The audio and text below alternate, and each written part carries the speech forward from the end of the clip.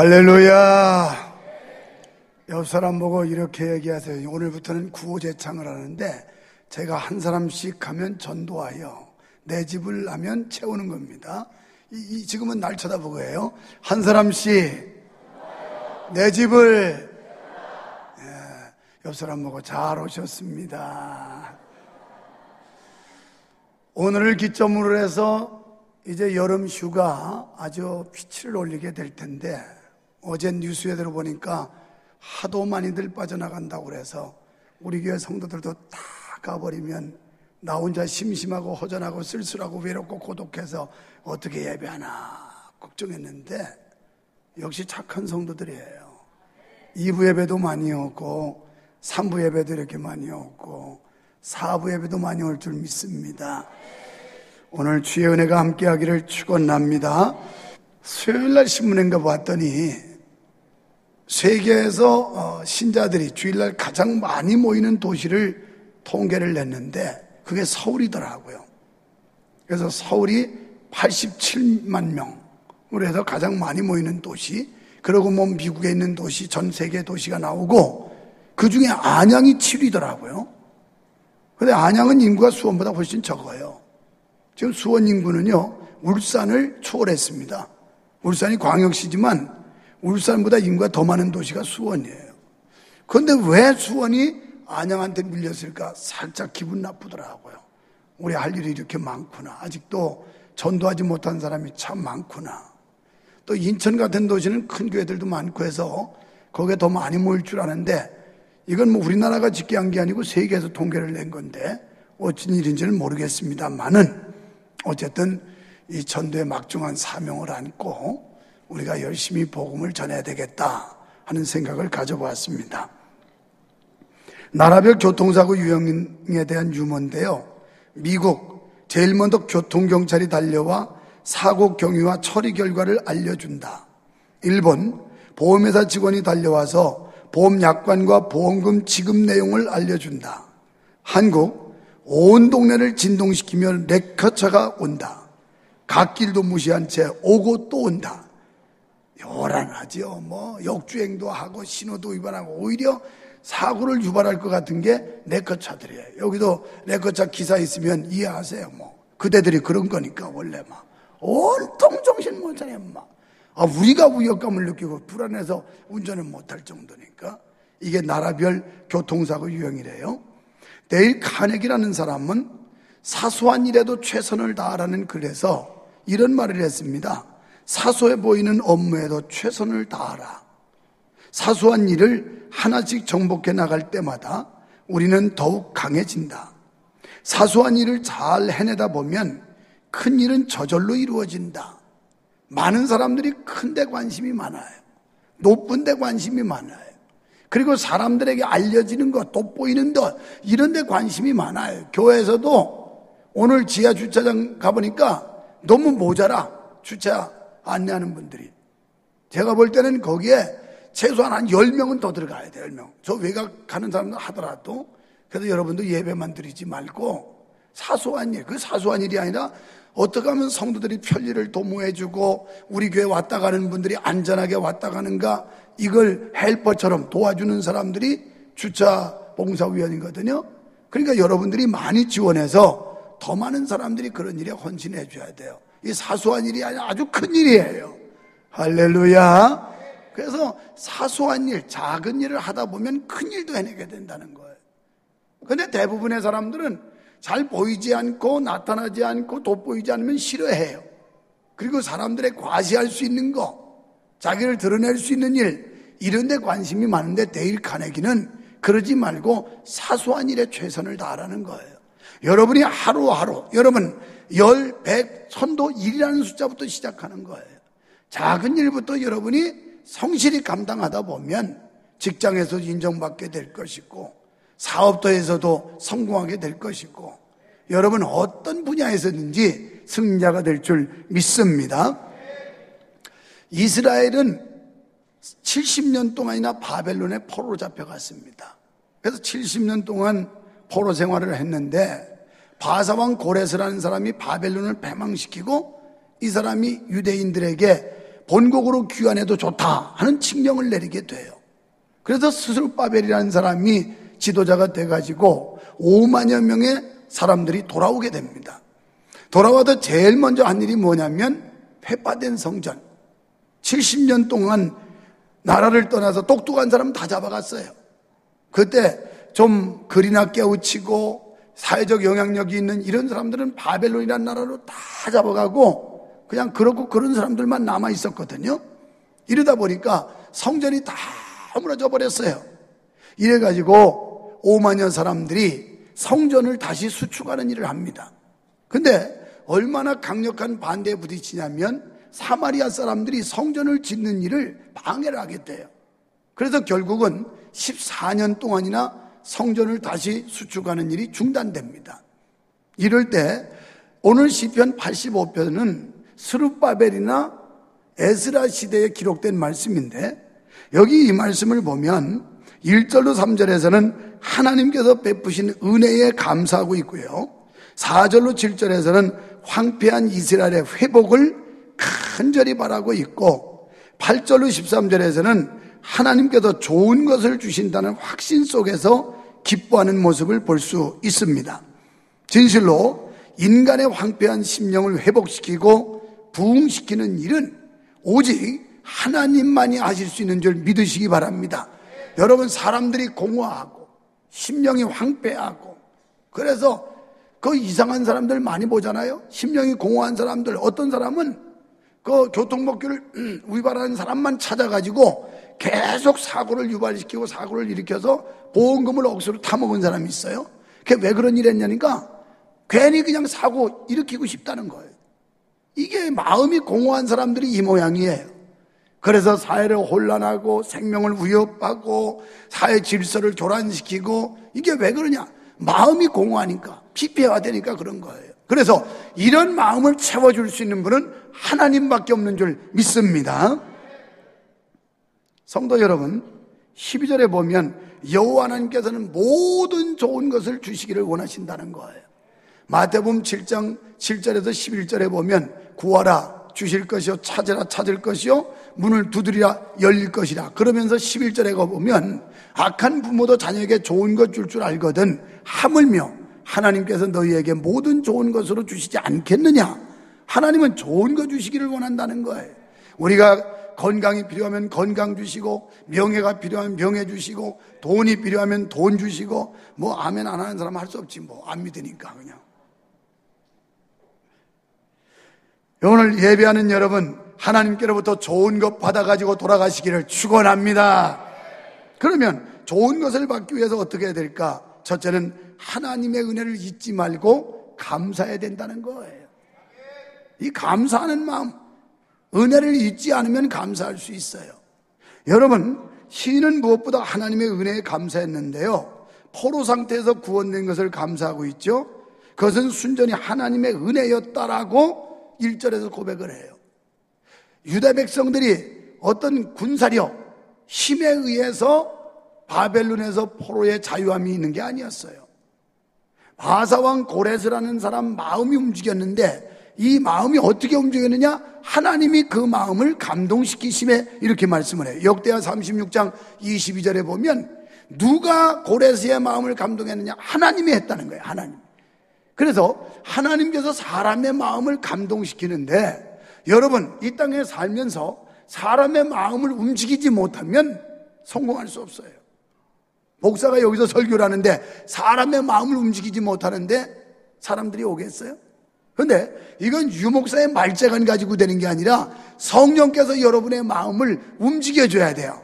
할렐루야. 그러니까 이 휴가 기간에 안 가고 이렇게 예배당 와가지고 예배한다고 나와 있지. 그 사람은 다 도망갈게요. 강릉 경포대로 가고, 부산 해운대로 가고, 저 대천 해수욕장으로 가고, 신두리 해수욕장으로 가고, 다 갔을 거예요.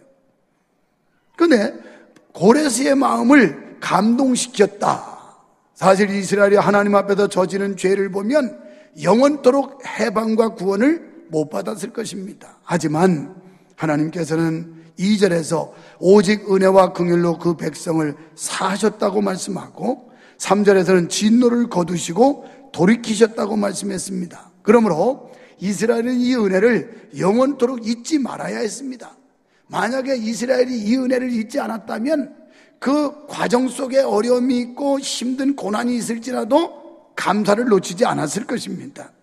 마찬가지로 오늘 우리가 구원받은 거 하나님의 은혜로 구원받은 줄 믿습니다.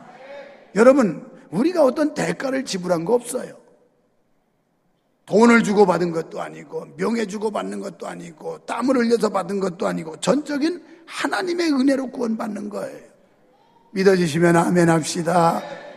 그래서 이런 말씀을 드릴 때마다 생각나는 게 딱 하나 있어요. 그게 뭐냐면, 돈 갖고도 못 가요. 하나님 나라.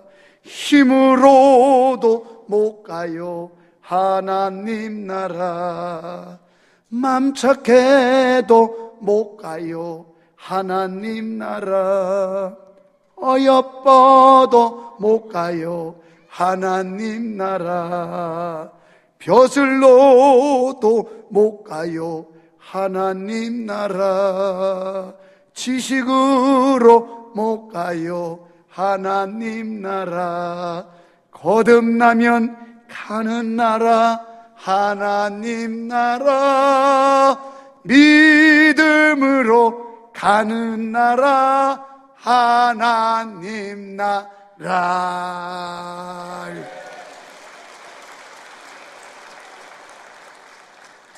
사람들은 꼭 제주를 부리야 박수를 치더라.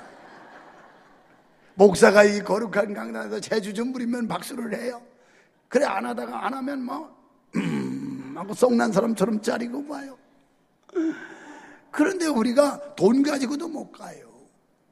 힘이 세도 못 가요. 아무리 얼굴 예쁘고 마음이 착해도 도덕률도 갈 수 없는 거예요. 벼슬로도 못 가요. 벼슬로도. 지식이 아무리 많아 유식해도 못 가요. 믿어야 갑니다. 믿어야. 네, 믿어야.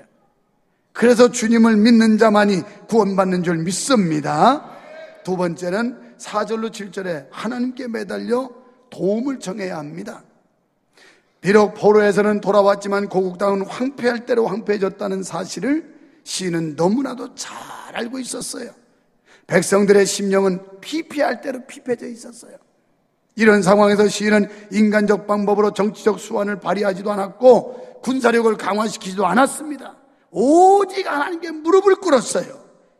그의 기도의 내용을 보면 이렇습니다. 4절에서 하나님이여 우리를 돌아보시고 노를 그쳐달라고 기도하고 있고 7절에서는 오직 주의 인자하심과 구원을 보여달라고 기도합니다. 6절에서는 주의 백성을 살려달라고 기도하고 있어요. 시인은 하나님과의 올바른 관계가 회복되어 하나님의 인자하심과 도우심을 기도했습니다. 그렇습니다. 이것은 가장 나약한 방법 같지만 실상은 개인과 민족과 나라의 번영을 위한 가장 확실한 방법임을 믿습니다. 6절에서 다시 살려달라고 기도하는데요. 이는 우리가 완전히 죽게 돌아와 능력 있는 삶을 살게 해달라 이런 기도였어요. 예를 들면 에스겔 37장 9절로 10절에 보면 에스겔 골짜기에 마른 뼈다구가 막 사람의 뼈다구가 굴러다녔습니다. 그때 거기에 생기가 어, 명령되니까 이 뼈들이 살아서 이 뼈 저뼈 맞기 시작하더니 힘줄이 생기고 그리고 큰 군대를 완벽한 사람을 이룬 것처럼 완전한 회복을 말하는 거예요. 그래서 우리를 살려주시옵소서 이 땅이 피폐화되어 있습니다. 사람들의 심령이 피폐화되어 있습니다. 그러니 하나님이요 살려주시옵소서 이렇게 지금 기도하고 있어요 시인은. 우리가 돌아오는 주일날 오후에 저녁에 시청학 광장에서 하나님 이 땅을 치유해 주시고 이 백성을 구원해 주시고 이 땅의 이 피폐한 심령들을 살려 주시옵소서 이 기도하자는 거예요, 이 기도. 그래서 하나님 앞에 엎드려 기도했습니다. 예를 들면 빈들의 마른 불같이 시들은 나의 영혼 성령의 단비를 부어 사생명 주옵소서 회복되게 해달라는 거예요. 이렇게 될 때 성도는 주 안에서 기뻐하게 되고 동시에 주님을 기쁘시게 하는 일이 되는 줄 믿으시기 바랍니다. 성도는 다시 살리시는 주의 생기의 필요성을 깨닫고 항상 기도하면서 주의 은혜를 받아들이는데 방해가 되는 이런 죄악을 멀리 해야 됩니다. 오늘 주님의 교회는 성도들의 삶에 항상 생기를 제공해 주어야 합니다. 또 교회는 이런 성도들을 필요로 합니다. 가정과 교회는 삶의 투쟁에 지친 영혼들에게 항상 그리스도의 생명력을 불어넣는 주요소와도 같은 거예요. 할렐루야. 여러분의 가정, 그리고 오늘 이 교회는 삶에 지친 허덕이는 이 영혼들에게 생명력을 불어 넣어주는 주요소와도 같은 곳이 교회요, 가정이란 말입니다. 교회를 비난하는 자들은 어쩌고 저쩌고 하는데요. 무식해서 몰라서 그러는 거예요.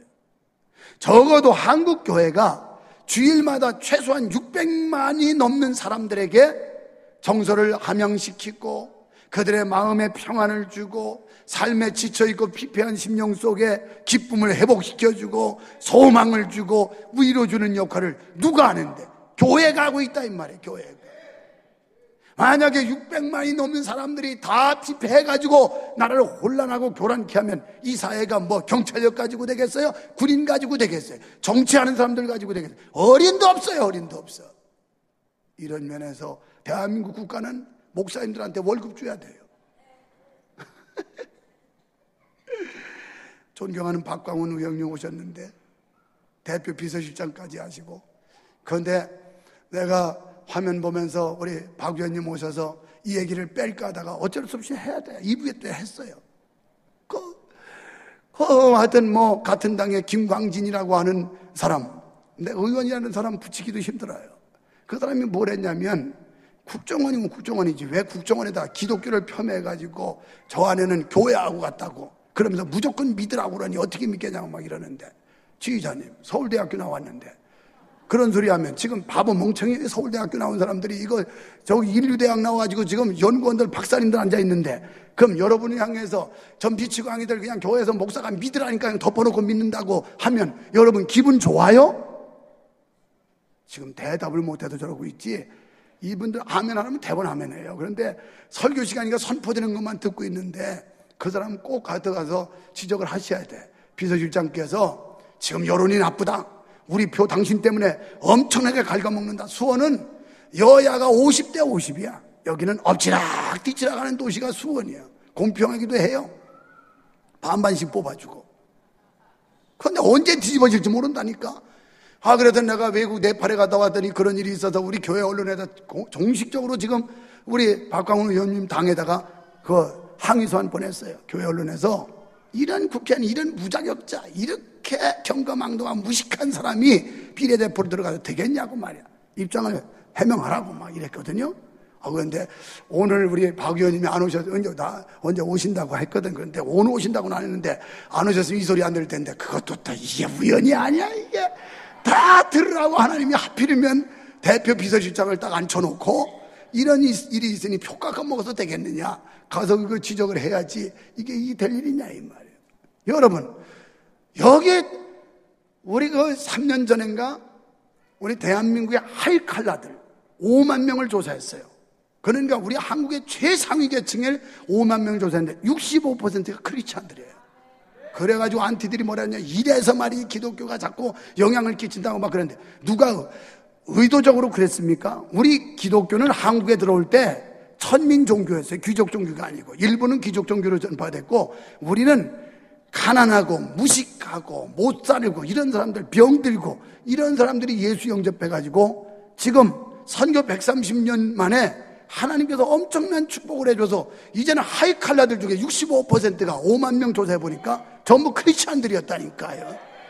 그런데 어떻게 교회가 덮어놓고 믿으란다고 믿겠어요? 아, 여러분, 그렇게 바보 멍청이들이에요? 무식해요?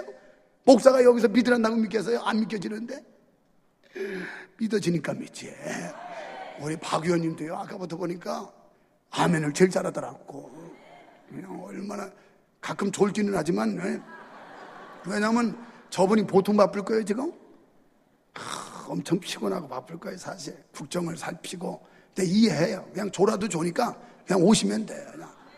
얼마나 편안하면 잠이 오겠습니까? 목사님이 설교하는 게 불편하면 잠도 달아날 텐데 유 목사 설교하는 건 구수한 데다가 은혜도 있고 또 날선 지적도 있고 그러다 보니까 그냥 평강이 있는 거예요, 평강이. 여러분, 교회가요, 나쁜 놈 집단 아니거든요. 적어도 주일마다 600만이 넘는 사람들에게 그 사람들을 정신순환을 시키고 낙심한 사람들 위로 주고 이건 국가가 예산 가지고 못하는 일을 한국교회가 지금 저변에서 이 사회 건강한 사회를 위해서 하고 있다는 거 이걸 몰라요 이걸 몰라 거기다 가끔 좀 또라이 같은 사람들 목사님 하나 나오면 그냥 거기다가 막 집중타를 가해서 도매금으로 매도하고 이러면 안 돼요 이러면 안 돼 이러면 안 돼. 여러분도 그러면 안 돼요. 여러분 중에도 그냥 아, 목사가 다 썩어 빠져서. 그럼 썩어 빠진 목사님 밑에 여러분들 같이 썩었잖아 그럼. 썩은 놈이 무슨 할 말이 있어 그러면. 우리 다 같이 정신 차려야 되는 거예요 여러분 교회에서 말씀과 기도 전도와 헌신을 통해서 그 생명력을 공급받게 되는 겁니다. 요한복음 4장 13절로 14절에 내가 주는 문 영원히 목마르지 않고 영생하도록 솟아나는 샘물이 된다. 여러분 지금 세상이 각박하고 힘들고 경제적인 압박이 있다 하더라도 하나님이 주시는 영적인 은혜 이거 받으면요 그 배에서 생수가 넘치는 것처럼 내게 샘솟는 기쁨 내게 샘솟는 기쁨 이게 막 생기는 거예요 어. 그래가지고 환경은 어렵고 몸은 병들었고 재정적으로는 힘들고 이럴지라도 하늘의 소망을 가졌기 때문에 기쁨이 생기는 거예요, 기쁨이. 할렐루야. 이게 예수 믿는 사람들이 경험하는 영적 세계예요. 그런데 요한복음 7장 37절로 38절에 보니까 생수의 강이 그 배에서 흘러넘치리라. 우리 마음속에 이 기쁨이 흘러넘쳐서 믿지 않은 분들에게까지 선한 영향력을 줘야 그분들이 그걸 보고 아 예수 믿으면 저렇게 행복한 거구나. 예수 믿으면 살맛이 나는 거구나. 예수 믿으면 소망이 있구나. 저런 상황에서도 기뻐하는구나. 이런 이게 생기지. 예수 믿는다면서 우리도 그냥 우거지 상우를 하고 막 얼굴이 그늘져가지고 침침하고 다니면 안 믿는 사람들이 믿겠어요? 아이고 예수 믿는 것들이나 안 믿는 우리 것들이나 똑같으네 도찐 개찐네 믿어요 아무도 안 믿어요 진정으로 여러분의 마음속에 하나님의 은혜가 있으면 여러분의 마음속에 예수 그리스도가 있으면 그 배에서 샘물이 솟는다는 거예요. 이 샘물은 퍼도퍼도 마르질 않아요. 저는 촌놈이라던 시골에서 이거 펌프 받기도 전에 우물물 가지고 마을 사람들이 공동으로 이렇게 우물을 길어 먹었어요. 그 물지게도 져봤어요. 물지게.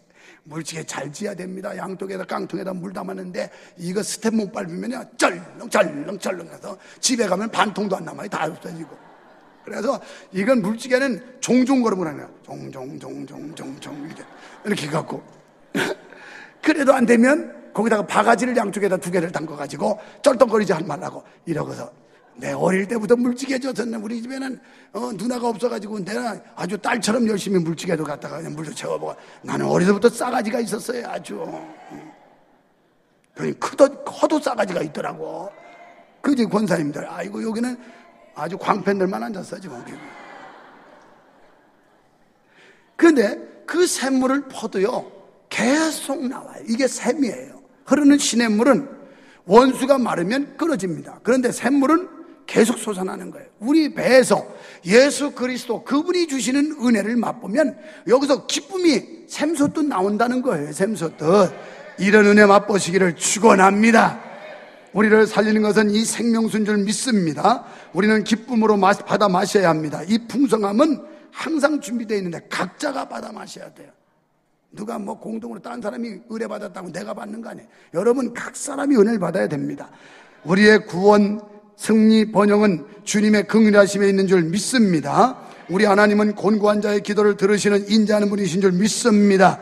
그분은 우리가 곤경 가운데서 부르짖을 때 귀를 막지 않으시며 우리가 손을 벌려 도움을 청할 때 뿌리치지 아니하시는 줄 믿습니다. 하나님은 경건한 자의 영혼을 지켜주시는 줄 믿습니다. 당신의 백성을 구별하신 하나님께서는 불꽃 같은 눈동자로 자기 백성을 지켜주십니다. 하나님은 죄인들을 용서하시기를 기뻐하세요. 그리고 죄인들이 그 죄에서 용서받고 회개하여 구원받기를 원하십니다. 주께로 돌아오기를 원하십니다. 우리 믿는 성도는 이런 하나님의 심정을 헤아려 복음 전대 온 힘을 쏟아야 할 줄 믿습니다. 세 번째, 세 번째가 끝이에요. 말씀을 들어야 됩니다. 구원받은 은혜를 감사하고 황폐화된 현실을 회복시켜 달라고 기도한 시인은 8절에서 하나님의 말씀을 듣겠다는 거예요. 우리가 말 안 들어서 이렇게 됐는데 하나님 말씀 안 들어서 이랬는데 이제 말씀 듣겠습니다. 잘 듣겠습니다. 왜 바벨론으로 잡혀가느냐? 말 안 들어서 그랬어요. 하나님이 선자들을 보내가지고 회개하라, 돌아와라, 말씀대로 살아라, 바로 살아라 이런데 말을 안 듣는 거예요. 이스라엘이 먼 나라로 포로 끌려간 것은 하나님의 말씀을 듣지 않고 망령된 일을 행했기 때문이라는 것입니다. 여기서 망령된 일, 캐실라라고 하는 말인데 개역개정판에는 어리석은 자로 이렇게 번역을 해서 써놨어요. 그런데 옛날 성경에는 망령된 일 이렇게 나오는데 캐실라라고 하는 히브리어 원어는 어떤 뜻이냐면 비계덩어리라는 뜻이에요. 비계덩어리라는 뜻에서 유래된 말인데 바보스럽고 멍청하여 말귀를 못 알아듣는다 이런 뜻이에요. 그러니까 이거 세상을 살아가도 어떤 사람은 말귀를 못 알아듣는 사람이 있어. 아무리 얘기해도 무슨 말인지 도대체 이해를 못 해요. 어? 그러니까 여기서 망령된 자리에서 우리가 이제는 하나님의 말씀을 듣겠습니다. 이 말은 우리가 말귀를 못 알아들었습니다. 귀가 둔하고 멍청하여 제 고집대로 행하는 이런 어리석음을 범했는데 이제는 하나님의 말씀을 듣겠습니다. 여러분 주의 말씀들로 여기 나왔지 다른 이유가 없잖아요. 박 의원님도 설교 들으러 오셨잖아요. 뭐 저분이 무슨 뭐 유목사가 우리 교회는 유목사만 무식해요. 다른 사람은 다 똑똑한데 유목사 그러니까 이게 기적적인 교회야. 무식한 목사 밑에 똑똑한 사람들이 앉았으니 나이가 아무래도 이게 알다가도 모르겠어요. 이거 하나님이 하시는 일이지. 난 모르겠어요. 난 모르겠어요. 여기 뭐 법학 박사도 계시고 뭐 별, 그래서 그 대한민국 그래도 국가에 어, 고위직에 있는 분들이 다 있어 있는데 그런데 이 무식한 유목사 밑에 와 듣는 게 이상하다 이 말이에요 이게. 그런데 말씀을 듣기 위해서 온 거예요. 말씀을. 들을 귀가 열리시기를 축원합니다. 요한 계시록에 보면 귀 있는 자는 들을지어다 성령이 교회들에게 하시는 말씀을 오늘 이 자리에 나오셔서 여러분이 들을 귀가 열리면 아 오늘 저 말씀이 이 시대에 나에게 이렇게 들려지는 주님의 음성이구나 이렇게 들려지게 돼 있어요. 들을 귀가 열리면. 그런데 귀가 어두워지면 무슨 소리라도 못 알아들어요. 아주 답답하지요. 이스라엘은 하나님의 말씀을 듣는 귀가 없었어요. 하나님께서는 당신의 선자를 통해서 거듭거듭 훈계하고 경고하는데도 이스라엘은 목을 빳빳이 세운 채 제고집대로 행했습니다. 결국 이런 어리석음이 이스라엘을 황폐의 길로 끌고 갔던 거예요. 그런즉 이제 하나님의 말씀을 따라 살겠다는 거예요. 우리가 경험했습니다. 70년 동안 고통받아 봤습니다. 하나님, 이제는 하나님 말씀 듣고 살겠습니다. 고분고분하겠습니다. 지금 이런 얘기예요. 그동안 우리가 너무 숱한 고난과 역경에서 서론받았습니다. 이제는 우리가 귀를 쫑긋하고 하나님 말씀 듣고 하나님 시키는 대로 하겠습니다. 이걸 소원하고 있는 거예요. 그런즉 이제 하나님의 말씀을 따라 살자는 겁니다. 그러면 하나님께서 좋은 것을 주실 것인데 우리 땅이 산물을 낼 것이라 그랬어요. 우리는 하나님께서 그 백성에게 알려주신 말씀의 도를 쫓아야 합니다. 그 도는 곧 의의 길인데 신명기 11장 13절에 보면 하나님의 명령을 청종하고 너희 하나님 여호와를 사랑하며 하나님 사랑하는 마음이 마음과 성품을 다하여 섬기면 그러면 이른 비와 늦은 비를 적당히 내려준다는 거예요. 비라는 게 너무 많이 오면 홍수나요. 적당히 와야지. 그것도 필요할 때 이게 양이 조절돼서 와야지 한꺼번에 쏟아버리면 막 집중호우로. 그럼 사람 죽지요. 자동차 떠내려가지요. 막 무너지지요. 이게 큰 피해를 와요. 그래서 적당한 비를 내려서 너희 땅에 열매를 맺게 한다는 거예요. 하나님이 여러분의 사업에 열매 맺게 하시기를 축원합니다. 여러분의 직장에 열매 맺게 하시기를 축원합니다. 이 하나님이 열매를 주신다는 거예요. 이스라엘이 이 의의 길을 찾을 때 그 땅과 그 백성의 회복과 번영의 날이 반드시 찾아오는 줄 믿습니다. 시인은 기도하는 중에 믿음으로 그 땅에 임할 회복과 번영의 그날을 바라보았어요. 마찬가지로 우리가 주의 말씀 쫓아 살면 위로부터 하나님의 긍휼과 은혜가 풍성히 임할 것이며 비폐해진 심령의 밭에 희락의 꽃이 피어 희락이 어? 이 심령이 바짝 말라가지고 뼈만 앙상해가지고 이랬던 사람이 이 심령의 밭에 희락이 기쁨과 즐거움에 꽃이 펴가지고 막 얼굴이 싱글벙글 싱글벙글 해도 막 교회 올 때도 그냥 그냥 직행으로 오는 거야, 직행으로. 그런데 바짝 말린 사람은 교회 올 때는 완행으로 와, 완행으로. 그리고 집에 갈 때는 직행으로 가, 직행으로 그냥. 작살 맞은 뱀처럼 막 쏜사같이 도망가요. 여러분 아무리 일찍 나가도 차가 땀 막혀서 못 나가요. 주차장에 들어온 이상은. 그냥 급할수록 돌아가라. 천천히 좀 안전하게 질서 지키며 가야지. 내가 먼저 가야지. 막 예배 잘 드리고 은혜 받고 그러다가 차 때문에 또 은혜 다 쏟고 가는 사람이 여기는 없을 줄 믿습니다. 실컷 은혜 받고 차 빨리 안 나간다고.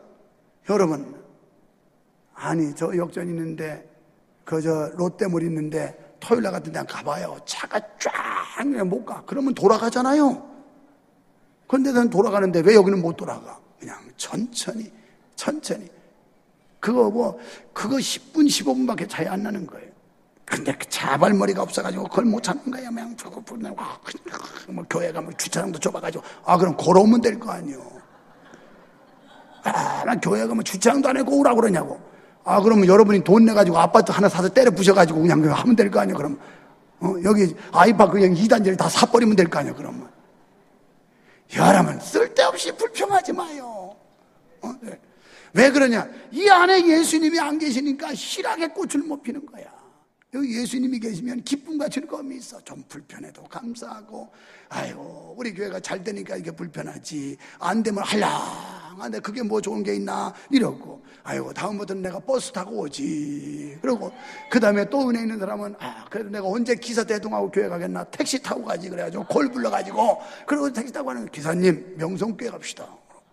그러고서 이따가 내가 콜할 테니까 또 오세요. 그러면 택시 기사님들이 얼마나 좋아하겠어. 와, 이거 주일날 명성교회 금방 어슬렁 어슬렁 하면 수지 맞는다. 뭐 이래, 이래 돼야지. 그러니까 예수님 만나면 이 마음속에 희락의 꽃이 핀다니까, 희락이. 그래서 찬양대도 그냥 희락의 꽃이 피면 막 기뻐가지고 주체를 못해서 찬양하는데 막 입에 확 맥이 입처럼 벌려가면서 그냥 좋아가지고 이래, 이래야 은혜가 되는 거지. 하기 싫어가지고 깨지럭거리는 것처럼 음, 이러고 있으면 보는 사람들이 은혜가 하나도 안 돼. 도통 그냥 저, 저건 부부싸움하고 왔나 왜 저기 앉아가지고 저렇게 인상을 바빡해서 보이나 이렇게 돼요.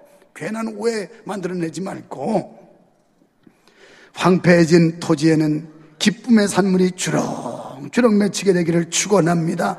영육간의 진정한 회복과 번영의 시대를 맞이하게 될 줄 믿습니다. 사랑하는 성도 여러분, 지금 영육간에 피폐한 상태에 있습니까? 구원받은 백성으로서 회복과 번영의 복된 삶을 살고 있지 못하십니까? 자신을 짓누르고 있는 온갖 문제들로 인해 답답한 지경에 있습니까? 불평과 불만을 버리고 죄인된 우리를 구원하신 하나님의 은혜에 감사해 보세요. 여러분, 긍정의 힘이 얼마나 큰지 아세요? 믿음은 너희가 겨자씨만한 믿음이 있어도 이 산을 바다로 옮겨지라고 명령해도 된다는 거예요. 믿음 가지시기를 축원합니다.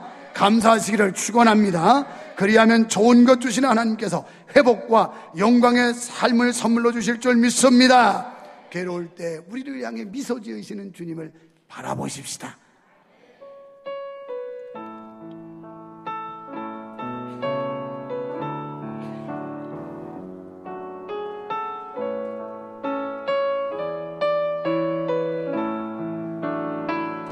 괴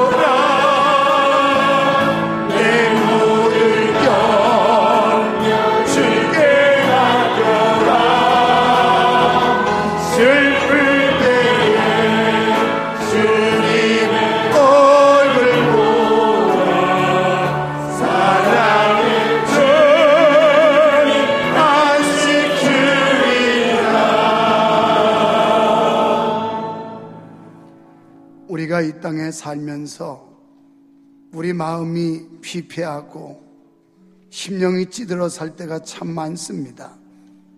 주님 여러 가지 환경적 요인과 시대적 상황 앞에서 위축될 때가 많은데 오늘 하나님은 우리에게 좋은 것 주시기를 원하고 계십니다. 구하는 자에게 최고 최상의 것을 주시기를 기뻐하시는 하나님이심을 믿습니다. 우리 성도들 그 배에서 생수의 강이 넘쳐나게 하시고 피폐해진 그런 심령 속에 희락의 꽃이 피어나게 하여 주시옵소서. 사막의 백합화 피게 하시는 하나님의 은혜가 있게 하시고 생기를 불어넣어 주셔서 소망과 기쁨과 감사와 감격 속에 살게 하여 주시옵소서. 삶이 곤과에 낙담하는 사람에게 위로와 소망을 주시옵소서. 좌절한 자에게 믿음을 주시옵소서 확신과 기쁨을 가지고 살아가게 하여 주시옵소서 예수님 이름으로 간절히 기도하옵나이다. 아멘.